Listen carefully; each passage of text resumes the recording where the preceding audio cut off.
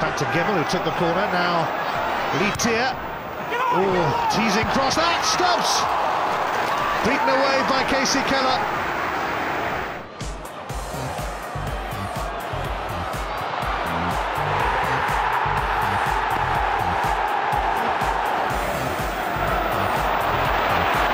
Li Tie has got time to deliver. And it was an important interception from Chris Perry.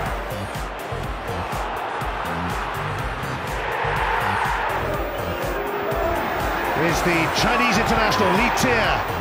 Oh, and it comes for Radzinski. It's 3-3.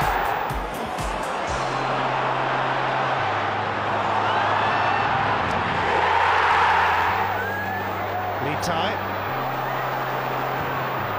And Enckelman collects. Li Tie.